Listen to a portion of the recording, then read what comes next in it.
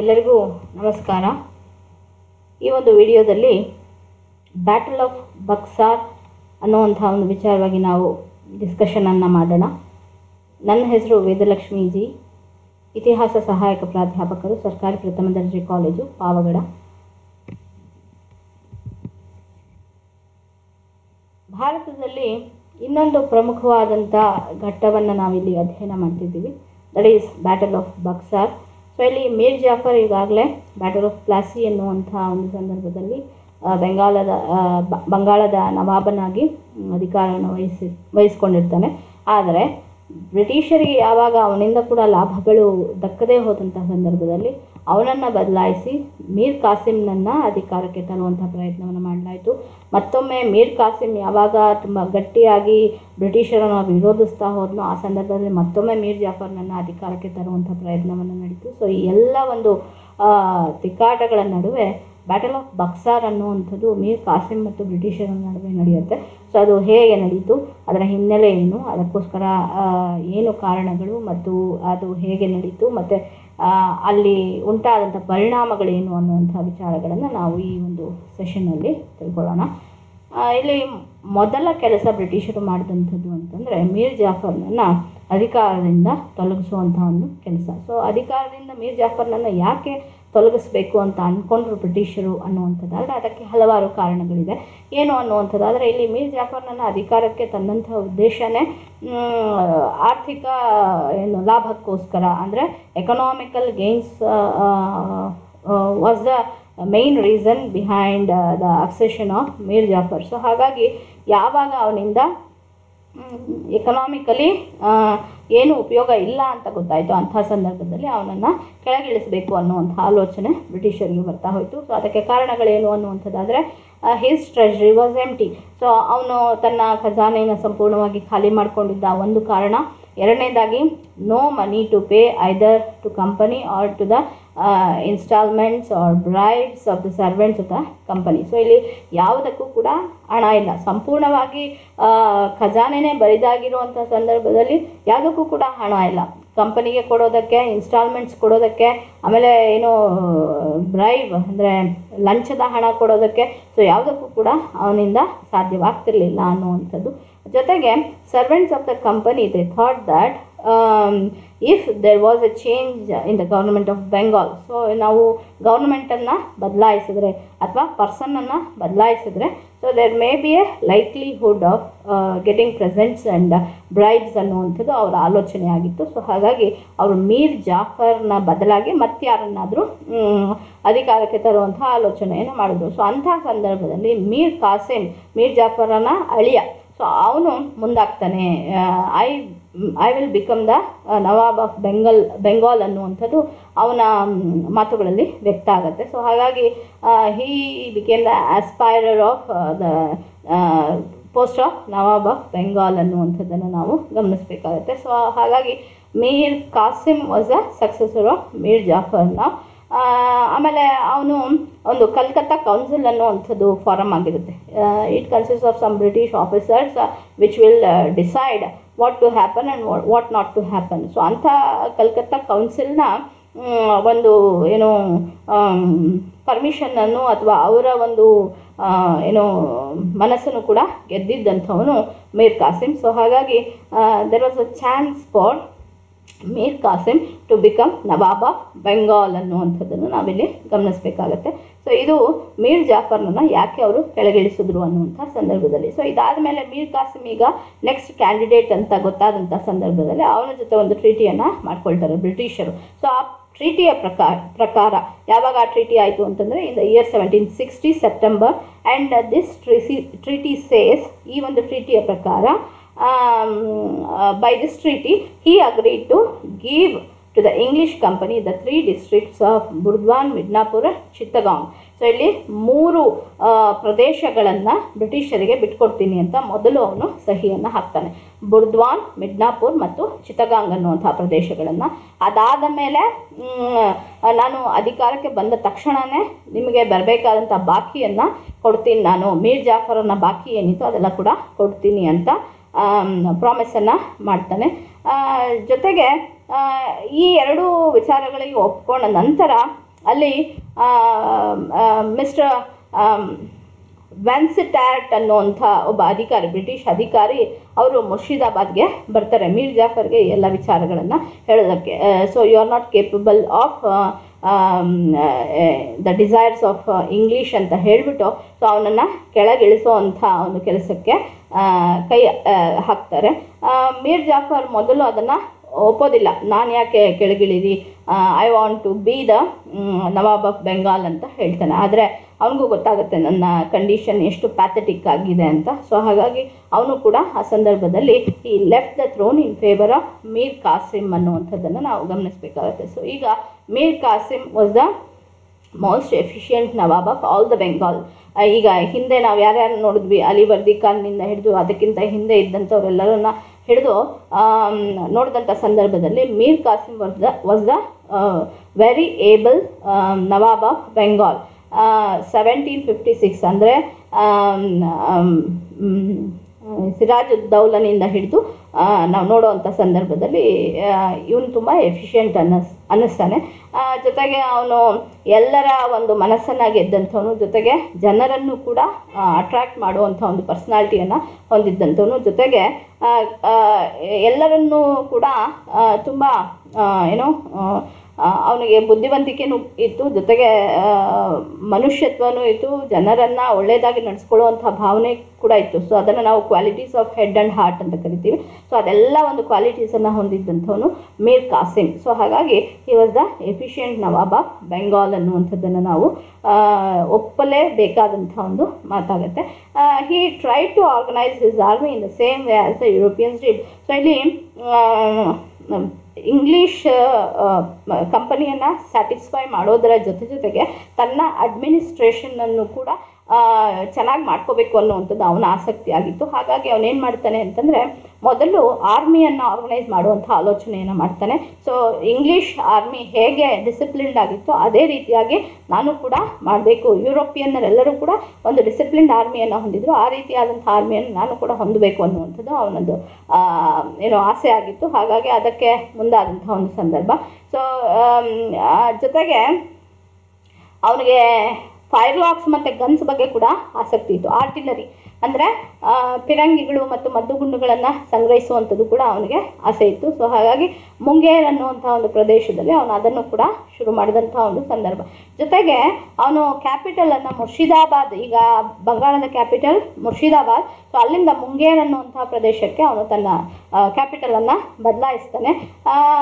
ಯಾಕೆ ಅಂತಂದರೆ ಇಲ್ಲಿ ಒಂಥರ ಅಟ್ಮಾಸ್ಫಿಯರ್ ಈಗಾಗಲೇ ಕೊಳಕಾಗಿತ್ತು. ಅಂದರೆ ಮೀರ್ ಜಾಫರು ಸಿರಾಜುದ್ದೌಲನ ಸಾವು ಇವೆಲ್ಲವೂ ಕೂಡ ಆಮೇಲೆ ಕಾನ್ಸ್ಪಿರಸಿಗಳು ಇಂಟರ್ವ್ಯೂಸು ಆಮೇಲೆ ಕರಪ್ಷನು ಇದೆಲ್ಲ ಕೂಡ ಅವನಿಗೆ ಇಷ್ಟ ಆಗದೆ ಇರುವಂಥ ಸಂದರ್ಭದಲ್ಲಿ ಅವನು ಆ ಪ್ರದೇಶವನ್ನು ಬಿಟ್ಟು ಬೇರೆ ಕಡೆಗೆ ಹೊಸದಾದಂಥ ಒಂದು ವಾತಾವರಣಕ್ಕೆ ಹೋಗಬೇಕಾಗಿತ್ತು. ಹಾಗಾಗಿ ಮುಂಗೇರ್ ಅನ್ನುವಂಥದ್ದು ಅವನಿಗೆ ಸರಿ ಅನ್ನಿಸ್ತು. ಹಾಗಾಗಿ ಮುಂಗೇರ್ ಅನ್ನುವಂಥ ಪ್ರದೇಶಕ್ಕೆ ಅವನು ತನ್ನ ರಾಜಧಾನಿಯನ್ನು ಬದಲಾಯಿಸಿದಂಥ ಒಂದು ಸಂದರ್ಭ. ಸೊ ಅದರ ಜೊತೆಗೆ some new people he wanted so he wanted to inaugurate his new regime with new people ಅನ್ನುವಂಥ ಕಾರಣಕ್ಕೋಸ್ಕರ ಅವನು ಮುಂಗೇರಿಗೆ ಹೋದಂಥ ಒಂದು ಸಂದರ್ಭ. ಅದ್ರ ಜೊತೆಗೆ ಇನ್ನೊಂದು ಕಾರಣ ಇತ್ತು ಏನು ಅಂತಂದರೆ ಕಲ್ಕತ್ತಾದಿಂದ ಸ್ವಲ್ಪ ದೂರ ಇರಬೇಕು ಅನ್ನುವಂಥ ಕಾರಣಕ್ಕೋಸ್ಕರ ಅವನು ಹೋಗ್ತಾನೆ. ಯಾಕೆ ಅಂತಂದರೆ ಬ್ರಿಟಿಷರು ಕಲ್ಕತ್ತಾದಿಂದ ಇವನ ಮೇಲೆ ಸೂಪರ್ವೈಸ್ ಮಾಡ್ತಾಯಿದ್ರು ಹಾಗಾಗಿ ಆ ಒಂದು ಸೂಪರ್ವಿಷನನ್ನು ಮತ್ತು ಇಂಟರ್ಫಿಯರೆನ್ಸ್ ಆಫ್ ಇಂಗ್ಲೀಷನ್ನು ತಪ್ಪಿಸ್ಕೊಳ್ಬೇಕು ಅನ್ನುವಂಥ ಕಾರಣಕ್ಕೆ ಅವನು ಸ್ವಲ್ಪ ದೂರ ಹೋಗಬೇಕು ಅಂತ ಮೊಂಗೇರ್ಗೆ ಹೋಗಿ ಸೆಟ್ಲ್ ಆದಂಥ ಒಂದು ಸಂದರ್ಭವನ್ನು ನಾವು ಕಾಣ್ತೀವಿ. ಅದರ ಜೊತೆಗೆ ಇಲ್ಲಿ ಏನು ಅವನಿಗೆ ನನ್ನ ಖಜಾನೆ ಯಾಕೆ ಖಾಲಿಯಾಗಿದೆ ಅನ್ನುವಂಥದ್ದು ಅರ್ಥ ಆಗುತ್ತೆ. ಯಾಕೆ ಅಂತಂದರೆ, ಈಗಾಗಲೇ ಸಿಕ್ಕಿರುವಂಥ ಫರ್ಮಾನ್ ಮತ್ತು ದಸ್ತಕ್ಗಳಿಂದಾಗಿ ಟ್ರೇಡ್ ಅನ್ನುವಂಥದ್ದು ತುಂಬ ಲೂಸ್ ಆಗಿರುವಂಥದ್ದು, ಜೊತೆಗೆ ಯಾವುದೇ ರೀತಿಯಾದಂಥ ರೆವಿನ್ಯೂ ಅನ್ನುವಂಥದ್ದು ಗೌರ್ಮೆಂಟಿಗೆ ಬರ್ತಾ ಇಲ್ಲ ಅನ್ನುವಂಥ ಎಲ್ಲ ವಿಚಾರಗಳು ಕೂಡ as soon as he became the Nawab he found out ಇವನು ಎಲ್ಲವನ್ನು ತಿಳ್ಕೊಳ್ತಾನೆ. ಸೊ ಹಾಗಾಗಿ ಹಿ ವಾಂಟೆಡ್ ಮನಿ ಸೊ ಅದಕ್ಕೆ ಏನು ಮಾಡಬೇಕು ಈಗ ಅನ್ನುವಂಥ ಸಂದರ್ಭದಲ್ಲಿ ಅವನಿಗೆ ಹೊಳೆದಂಥದ್ದು to stop all the illegal private trade so ಇದು ಕಂಪನಿ ಮತ್ತು ಇಂಡಿವಿಜುವಲ್ಸಿಂದ ಏನು ಇಲ್ಲೀಗಲ್ ಪ್ರೈವೇಟ್ ಟ್ರೇಡ್ ಆಗ್ತಾ ಇತ್ತು, ಅದನ್ನು ಫಸ್ಟು ನಿಲ್ಲಿಸಬೇಕು ಅನ್ನುವಂಥ ಆಲೋಚನೆಯನ್ನು ಮಾಡ್ತಾನೆ. ಅವನ ಆಫೀಸರ್ಸ್ಗೆ ಅವನು ಸ್ಟ್ರಿಕ್ಟ್ ಆದೇಶವನ್ನು ಕೊಡ್ತಾನೆ. ಏನು ಅನ್ನುವಂಥದ್ದಾದರೆ ಎಲ್ಲ ಬೋಟ್ಸನ್ನು ನಿಲ್ಲಿಸಿ ಅನ್ನುವಂಥದ್ದು. ಜೊತೆಗೆ ದಸ್ತಕ್ಗಳನ್ನು ಇಟ್ಕೊಂಡಿದ್ರು ಕೂಡ ಅವರನ್ನು ನಿಲ್ಲಿಸಿ ಅನ್ನುವಂಥದ್ದು. ಯಾಕೆ ಅಂತಂದರೆ it was a illegitimate trade which was going on in Bengal so ಹಾಗಾಗಿ ಅವನು ಏನು ಮಾಡ್ತಾನೆ ಅಂತಂದರೆ, ಅದೆಲ್ಲ ನಿಲ್ಲಿಸುವಂಥ ಪ್ರಯತ್ನವನ್ನು ಮಾಡ್ತಾನೆ. ಆಮೇಲೆ ನ್ಯೂ ಚೆಕ್ ಪೋಸ್ಟನ್ನು ಸ್ಥಾಪನೆ ಮಾಡ್ತಾನೆ. ಎಲ್ಲೆಲ್ಲಿ ಇದುವರೆಗೂ ಚೆಕ್ ಪೋಸ್ಟ್ ಇರಲಿಲ್ವೋ ಅಲ್ಲೆಲ್ಲ ಈಗ ಚೆಕ್ ಪೋಸ್ಟನ್ನು ಸ್ಥಾಪನೆ ಮಾಡಿದಂಥದ್ದು. ಮತ್ತು ಅಲ್ಲಿ ಆಫೀಸರ್ಸನ್ನು ಕೂಡ ಹೆಚ್ಚಿಗೆ ಮಾಡ್ತಾನೆ. ಯಾಕೆ ಅಂತಂದರೆ ಇಂಗ್ಲೀಷರ ಒಂದು ಶಿಪ್ಸನ್ನು ಬೋಟ್ಸನ್ನು ಮತ್ತು ಏನೇನು ವೆಹಿಕಲ್ಸ್ ಅದನ್ನೆಲ್ಲ ತಡೆಯೋದಕ್ಕೆ ಅಥವಾ ಅವರ ಮೂಮೆಂಟನ್ನು ತಡೆಯೋದಕ್ಕೋಸ್ಕರ ಆ ರೀತಿಯಾಗಿ ಕ್ರಮವನ್ನು ತೆಗೆದುಕೊಳ್ತಾನೆ. ಸೊ ಇದು ಬ್ರಿಟಿಷರಿಗೆ ಇಷ್ಟ ಆಗದೆ ಇರುವಂಥ ವಿಚಾರ. ಸೊ ಹಾಗಾಗಿ there was a complaint cum counter complaint ಅವರು ಇವನ ಮೇಲೆ ಕಂಪ್ಲೇಂಟ್ ಹೇಳುವಂಥದ್ದು, ಇವರು ಅವನ ಮೇಲೆ ಕಂಪ್ಲೇಂಟ್ ಹೇಳುವಂಥದ್ದು, ಇದೆಲ್ಲ ಕೂಡ ಬ್ರಿಟಿಷ್ ಕೌನ್ಸಿಲ್ನ ಗಮನಕ್ಕೆ ಹೋಗ್ತಾ ಇತ್ತು. ಕಲ್ಕತ್ತಾ ಕೌನ್ಸಿಲ್ ಅಂತ ಏನಿತ್ತು, ಅದರ ಗಮನಕ್ಕೆ ಹೋಗ್ತಾ ಇತ್ತು. ಸೊ ಈ ಸಂದರ್ಭದಲ್ಲಿ ಮಿಸ್ಟರ್ ವೆನ್ಸಿಟ್ರೇಟ್ ಅನ್ನುವಂಥವರೇ ಮತ್ತೆ ಮಧ್ಯಸ್ಥಿಕೆಯನ್ನು ವಹಿಸಿ he visited to Munger the new capital of Mir Kasim so ಹಾಗಾಗಿ ಈ ಒಂದು ಡಿಸ್ಪ್ಯೂಟನ್ನು ಸೆಟಲ್ ಮಾಡಬೇಕು ಶಾಂತಿಯುತವಾಗಿ ಅಂತ ಹೇಳಿ ಮುಂಗೇರ್ಗೆ ಮಿಸ್ಟರ್ ವಿನ್ಸೆಟ್ರೇಟ್ ಬರ್ತಾರೆ. ಸೊ ವಿನ್ಸೆಟ್ರೇಟ್ಗೆ ಇರುವಂಥ ವಿಚಾರವನ್ನೆಲ್ಲ ಕೂಡ ವಿವರಿಸ್ತಾರೆ ಮೀರ್ ಕಾಸಿಂ ಆದರೆ ಇಲ್ಲಿ ಹೇಗಾದರೂ ಮಾಡಿ ಇದನ್ನು ಸಾಲ್ವ್ ಮಾಡಬೇಕು ಅಂತ ಹೇಳಿ Vansittart he agree to surrender the rights of the servants of the company to trade duty free so ಇಲ್ಲಿ ಏನು ದಸ್ತಕ್ಸ್ ಅಂತ ಅವರು ಉಪಯೋಗಿಸ್ತಾ ಇದ್ರು ಅದನ್ನೆಲ್ಲ ನಾನು ಸರೆಂಡರ್ ಮಾಡ್ತೀನಿ ಅಂತ ವಿನ್ಸೆಂಟ್ ರೇಟ್ ಒಪ್ಕೊಳ್ತಾರೆ. ಆದರೆ ಕೌನ್ಸಿಲ್ ಆಫ್ ಕಲ್ಕತ್ತಾ ಇದನ್ನು ರಿಜೆಕ್ಟ್ ಮಾಡುತ್ತೆ. ಸೊ ಈ ಅಗ್ರಿಮೆಂಟ್ ಏನು ಇವರಿಬ್ಬರ ನಡುವೆ ಆಗಿತ್ತು ಅದನ್ನು ಕಲ್ಕತ್ತಾ ಕೌನ್ಸಿಲ್ಲು ಒಪ್ಪಲಿಲ್ಲ ಅನ್ನುವಂಥದ್ದನ್ನು ನಾವು ಗಮನಿಸಬೇಕಾಗತ್ತೆ. ಸೊ ಈ ಒಂದು ರಿಜೆಕ್ಷನ್ನಿಂದ Nawab he decided to abolish the duties of all so ಎಲ್ಲವನ್ನ ಏನು ಅಬಾಲಿಷ್ ಮಾಡುವಂಥ, ಎಲ್ಲವನ್ನ ಹಿಂಪಡೆಯುವಂಥ ನಿರ್ಧಾರಕ್ಕೆ ನವಾಬ್ ಮೀರ್ ಕಾಸಿಮ್ ಈ ಸಂದರ್ಭದಲ್ಲಿ ಬರ್ತಾನೆ. ಸೊ ಈಗ ನಾನು ಹೇಳಿದ್ದಕ್ಕೆ ನೀವು ಒಪ್ಪಲಿಲ್ಲ ಅಂತ ಹೇಳಿದ್ರೆ I will cancel all the ಏನೋ concessions all the free trade passes ಇದೆಲ್ಲ ನಾನು ಕ್ಯಾನ್ಸಲ್ ಮಾಡಾಕ್ತೀನಿ ಹೇಳಿ he decided to do that so that was how the things were going on so ಇಲ್ಲಿ ಬ್ಯಾಟಲ್ ಆಫ್ ಬಕ್ಸಾರ್ಗೆ ಮತ್ತೆ ಹೇಗೆ ಅವಕಾಶ ಸಿಕ್ತು ಅಥವಾ ಹೇಗೆ ಅದು ನಡೀತು ಅನ್ನುವಂಥ ಸಂದರ್ಭದಲ್ಲಿ ಯಾವಾಗ ಇವನು ಎಲ್ಲ ವಿಚಾರಗಳನ್ನು ಅಬಾಲಿಷ್ ಮಾಡೋದಕ್ಕೆ ಶುರು ಮಾಡಿದ್ನು ಸೊ ಇಲ್ಲಿ ಪಾಟ್ನಾದಲ್ಲಿ ಒಬ್ಬ chief of English factory Ellis ಅನ್ನುವಂಥವನು he asserted ನನಗೆ ಇದು ನನ್ನ ಹಕ್ಕು ಅನ್ನೋ ರೀತಿಯಲ್ಲಿ ಈ ಏನು ಬ್ರಿಟಿಷರಿಗೆ ಪ್ರಿವಿಲೇಜಸನ್ನು ಕೊಟ್ಟಿದ್ದೀರೋ, ಇದು ಬ್ರಿಟಿಷರ ಹಕ್ಕು ಅಂತ ಹೇಳಿ ಅದನ್ನು ಚಲಾಯಿಸೋದಕ್ಕೆ ಮುಂದಾಗ್ತಾನೆ. ಅದರ ಜೊತೆಗೆ he wanted to capture Patna but unfortunately he failed in that act so ಇದು ಒಂದು ರೀತಿಯಾದಂಥ ನವಾಬನ ವಿರುದ್ಧದ ಬೆಳವಣಿಗೆ ಬ್ರಿಟಿಷರಿಂದ ಅನ್ನುವಂಥದ್ದನ್ನು ನಾವು ಗಮನಿಸಬೇಕಾಗತ್ತೆ. So this led for a war between English and Mir Kasim in the year seventeen sixty three so ಇಲ್ಲಿ ಸಾವಿರದ ಏಳ್ನೂರ ಅರವತ್ತ ಮೂರರಲ್ಲಿ ಒಂದು ಬ್ಯಾಟಲ್ಲು ಸಂಭವಿಸುತ್ತೆ. ಸೊ ಆಮೇಲೆ ಇಲ್ಲಿ ಏನು ಸುಮಾರು ಯುದ್ಧಗಳು ನಡೆಯುತ್ತೆ. ಸೊ ಅಂಥ ಯುದ್ಧಗಳಲ್ಲಿ ಇಂಗ್ಲಿಷರನ್ನು ಮುಂದುವರಿಸಿದಂಥವ್ರು ಮೇಜರ್ ಆ್ಯಡಮ್ಸ್ ಅನ್ನುವಂಥ ಒಬ್ಬ ಸೈನ್ಯಾಧಿಕಾರಿ ಮೇಜರ್ ಆಡಮ್ಸ್ ಅನ್ನುವಂಥವ್ರು ಸೊ ಅವರು ನೇತೃತ್ವದಲ್ಲಿ ಮೀರ್ ಕಾಸಿಮ್ನ ವಿರುದ್ಧ ಹಲವಾರು ಕಡೆ ಯುದ್ಧಗಳು ನಡೆಯುತ್ತೆ. ಕಟಾವ ಅನ್ನುವಂತಹ ಒಂದು ಯುದ್ಧ, ಗಿರಿಯ ಅನ್ನುವಂಥದ್ದು, ಸುತಿ ಉದಯನಾಲ ಅನ್ನುವಂಥದ್ದು ಇವೆಲ್ಲವೂ ಕೂಡ ಪ್ರಮುಖ ಯುದ್ಧಗಳು. ಈ ಒಂದು ಸಂದರ್ಭದಲ್ಲಿ ಅಲ್ಲಲ್ಲಿ ನಡೆದಂಥ ಯುದ್ಧಗಳು. ಸೊ ಅವೆಲ್ಲವೂ ಕೂಡ ನಡೆದಂಥ ಒಂದು ಸಂದರ್ಭದಲ್ಲಿ ಇವನಿಗೆ ಇನ್ನಷ್ಟು ಕೋಪ ಬರುತ್ತೆ. ಸೊ ಇಲ್ಲಿ ಒಂದು ನಾನು ಹೇಳಿದ್ದಕ್ಕೆ ಒಪ್ತಾ ಇಲ್ಲ ಬ್ರಿಟಿಷರು ಅನ್ನುವಂಥದ್ದು. ಇನ್ನೊಂದು ಕಡೆ ನಾನು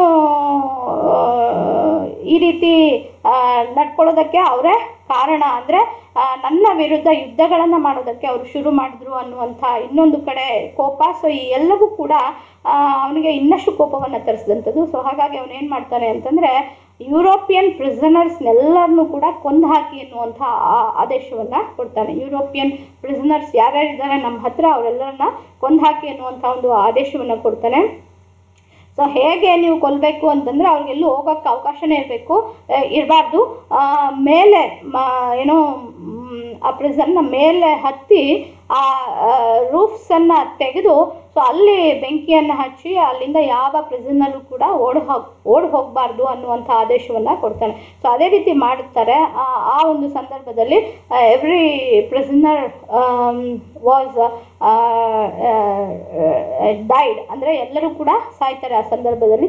ಸೊ ಹಾಗಾಗಿ ಈ ಒಂದು ಘಟನೆ ಬ್ರಿಟಿಷರನ್ನು ಕೆರಳಿಸಿದಂಥ ಒಂದು ಘಟನೆಯಾಗಿತ್ತು. ಸೊ ಯುರೋಪಿಯನ್ನರನ್ನ ಕೊಂದಂಥದ್ದು ಇಲ್ಲಿ ಏನು ಬ್ರಿಟಿಷರಿಗೆ ತುಂಬ ಕೋಪವನ್ನು ತರಿಸಿದಂಥ ಒಂದು ವಿಚಾರ. So even before the defeat of Mir Kasim ಏನು ಮಾಡಿದ್ರು ಅಂತಂದರೆ ಮೀರ್ ಜಾಫರ್ನನ್ನು ಈಗಾಗಲೇ ನವಾಬ್ ಆಫ್ ಬೆಂಗಾಲ್ ಅನ್ನುವಂಥದ್ದನ್ನು ಡಿಕ್ಲೇರ್ ಮಾಡಿದರು. ಸಾವಿರದ ಏಳ್ನೂರ ಅರವತ್ತ್ಮೂರ ಹೊತ್ತಿಗೆ Mir Jafar was again declared as a Nawab of Bengal so ಇಲ್ಲಿ ಮೀರ್ ಕಾಸಿಮ್ ಇನ್ನೂ ಸೋತಿಲ್ಲ.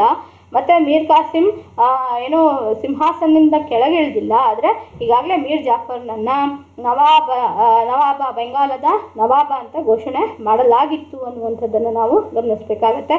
ಸೊ ಮೀರ್ ಜಾಫರ್ ಈ ಒಂದು ಆ, ನವಾಬ್ಶಿಪ್ನ ಸಂದರ್ಭದಲ್ಲಿ ಏನು ಮಾಡ್ತೀನಿ ಅಂತ ಒಪ್ಕೋಣ ಅಂತಂದರೆ ಎಲ್ಲ ಕಡೆ ನೀವು ಫ್ರೀಯಾಗಿ ವ್ಯಾಪಾರವನ್ನು ಮಾಡ್ಕೋಬೋದು. ದಸ್ತಕ್ಸನ್ನು ಉಪಯೋಗಿಸ್ಕೊಂಡು ಜೊತೆಗೆ free from all the duties ಯಾವುದು ಏನು ಟ್ಯಾಕ್ಸಸ್ ಏನೂ ಕೊಡೋ ಹಾಗಿಲ್ಲ. ಎಲ್ಲ ಟ್ಯಾಕ್ಸಸ್ಸಿಂದನೂ ಕೂಡ ಎಕ್ಸಮ್ಟೆಡ್ ನೀವು.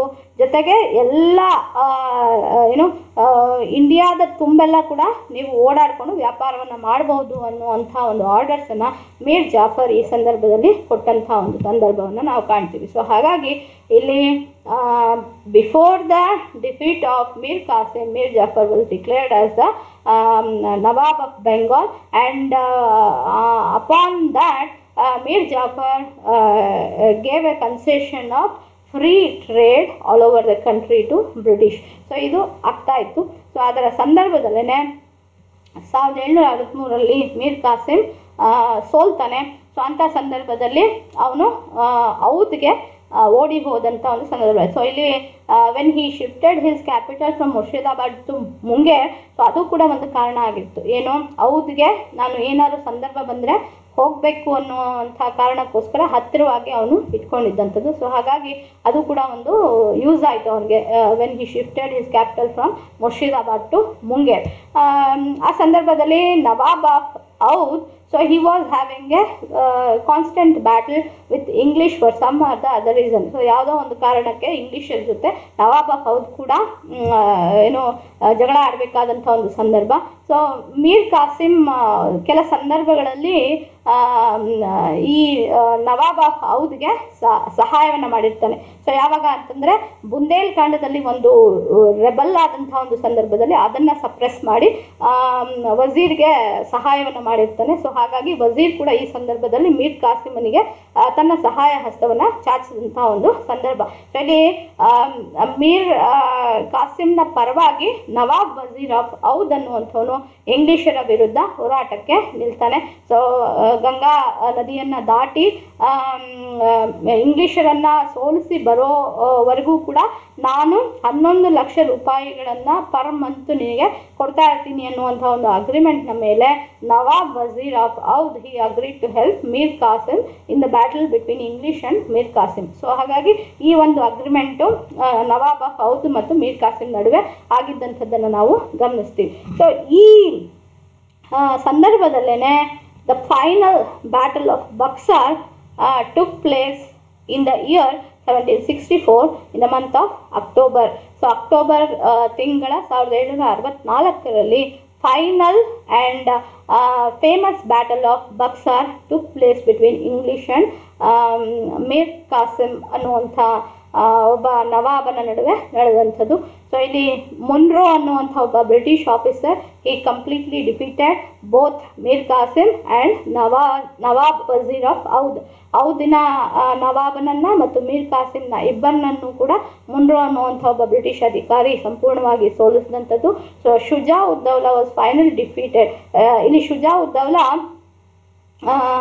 was Nawab uh, Wazir uh, and he was defeated in the year 1765 and completely uh, Aoud uh, uh, was prostrated at the feet of English ಸಂಪೂರ್ಣವಾಗಿ ಕಾಲಿಗೆ ಬೀಳುವಂಥ ಒಂದು ಪರಿಸ್ಥಿತಿಯನ್ನು ಶುಜಾ ಉದ್ದೌಲನಿಗೆ ಬ್ರಿಟಿಷರು ತಂದು ಒಡ್ಡಿದಂಥದ್ದು ಇನ್ನು ಮುಘಲ್ ಎಂಪರರ್ ಏನು ಮಾಡ್ತಾರೆ ಅಂತ ಹೇಳಿದ್ರೆ so he came to the side of English so ಹಾಗಾಗಿ ಇಂಗ್ಲಿಷರ ಜೊತೆಗೂಡಿ ಮೀರ್ ಕಾಸಿಮನಿಗೆ ಸಹಾಯ ಮಾಡುವಂಥದ್ದನ್ನು ನಿಲ್ಲಿಸಿದಂಥದ್ದು. ಸೊ ಹಾಗಾಗಿ Mir Kasim he was alone at this point of time and he was defeated in the hands of Munro and he spend his rest of the days as the uh, ಅಲೆಮಾರಿಯಾಗಿ ಅವನ ಜೀವನವನ್ನು ಕೊನೆಯದಾಗಿ ಕಳಿಬೇಕಾದಂಥ ಒಂದು ಪರಿಸ್ಥಿತಿ ಮೀರ್ ಕಾಸಿಮನಿಗೆ ಈ ಸಂದರ್ಭದಲ್ಲಿ ಉಂಟಾಯಿತು ಅನ್ನುವಂಥದ್ದನ್ನು ನಾವು ಗಮನಿಸಬೇಕಾಗುತ್ತೆ. ಸೊ ಇದು the course of the battle of Buxar ಇನ್ನು ಅದರ ಪರಿಣಾಮ ಏನಾಯಿತು ಅನ್ನುವಂಥದ್ದಾದರೆ ಈಗಾಗಲೇ ಸಾವಿರದ ಏಳುನೂರ ಐವತ್ತೇಳರ ಸಂದರ್ಭದ ಬ್ಯಾಟಲ್ ಆಫ್ ಪ್ಲಾಸಿ ಅನ್ನುವಂಥದ್ದು ಬ್ರಿಟಿಷರ ಪವರನ್ನು ಪ್ರೂವ್ ಮಾಡಿರುವಂಥ ಒಂದು ಯುದ್ಧ. So this was a this was another feather in to the cap of British so ಹಾಗಾಗಿ ಅದರ ಕಾನ್ಸಿಕ್ವೆನ್ಸಸ್ ಅಥವಾ ರಿಸಲ್ಟ್ಸ್ ಏನು ಅನ್ನುವಂಥದ್ದಾದರೆ ಬ್ರಿಟಿಷ್ ಪವರ್ ಅನ್ನುವಂಥದ್ದು again it proved its origin in India ಅನ್ನುವಂಥದ್ದು. ಎರಡನೇದಾಗಿ ಒಂದು ಫಿಯರ್ಸ್ ಬ್ಯಾಟಲ್ ಅನ್ನುವಂಥದ್ದು ಇನ್ ಸಂದರ್ಭದಲ್ಲಿ ನಡೀತು. ಅಂದರೆ it was somewhat decisive battle when compared to the battle of Plassey so ಹಾಗಾಗಿ ಇಲ್ಲಿ ಸ್ವಲ್ಪ ಯುದ್ಧಗಳು ಸಂಭವಿಸಿದವು. ಆಮೇಲೆ ಇಂಗ್ಲೀಷರ ಪರವಾಗಿ ಎಂಟುನೂರ ನಲವತ್ತೇಳು ಜನ ಸತ್ತಂಥದ್ದು ಮತ್ತು ಗಾಯಗೊಂಡಂತಹ ಸಂಖ್ಯೆ ಆದರೆ, ಇನ್ನು ಎದುರಾಳಿಯ ಒಂದು ಸೈನ್ಯದಲ್ಲಿ ಸುಮಾರು ಎರಡು ಸಾವಿರ ಜನ ಸತ್ತಂಥದ್ದು ಜೊತೆಗೆ ಇದು ಬಂಗಾಳದ ನವಾಬನಷ್ಟೇ ಅಲ್ಲದೆ ಭಾರತದ ಸಾಮ್ರಾಟನಾಗಿದ್ದಂಥ ಯಾರು ಮುಘಲ್ ಎಂಪರರ್. ಸೊ ಅವರನ್ನು ಕೂಡ ಸಂಪೂರ್ಣವಾಗಿ ಸೋಲಿಸಿದಂಥ ಮತ್ತು ಸಂಪೂರ್ಣವಾಗಿ ಸೋಲಿಸಿ ಅವರೆಲ್ಲರನ್ನೂ ಕೂಡ ಸೋತಂಥ ಪಾರ್ಟಿಗೆ ಸೇರಿಸಿದಂಥ ಒಂದು ಕೆಲಸವನ್ನು ಈ ಸಂದರ್ಭದಲ್ಲಿ ಈ ಯುದ್ಧ ಮಾಡಿದಂಥ ಸಂದರ್ಭವನ್ನು ನಾವು ಕಾಣ್ತೀವಿ. ಅದರ ಜೊತೆಗೆ battle of Plassey enabled British company to put a puppet on the throne of Bengal and the battle of Buxar did much more than that ಅನ್ನುವಂಥದ್ದನ್ನು ನಾವಿಲ್ಲಿ ಗಮನಿಸಬೇಕಾಗುತ್ತೆ. ಬ್ಯಾಟಲ್ ಆಫ್ ಪ್ಲಾಸಿ ಅನ್ನುವಂಥದ್ದು ರಿಯಲ್ ನವಾಬನನ್ನು ತೆಗೆದುಹಾಕಿ ಒಂದು ಪಪೆಟ್ಟನ್ನು ಅದರ ಮೇಲೆ ಕೂಡಿಸೋ ಥರ ಮಾಡ್ತು. ಆದರೆ ಬ್ಯಾಟಲ್ ಆಫ್ ಬಕ್ಸಾರ್ ಅನ್ನುವಂಥದ್ದು ಅದಕ್ಕೂ ಹೆಚ್ಚಿಗೆ ಮಾಡ್ತು ಅನ್ನುವಂಥ ಒಂದು ಅಂಶವನ್ನು ನಾವಿಲ್ಲಿ ಗಮನಿಸಬೇಕಾಗತ್ತೆ. So this was all about battle of Buxar thank you so much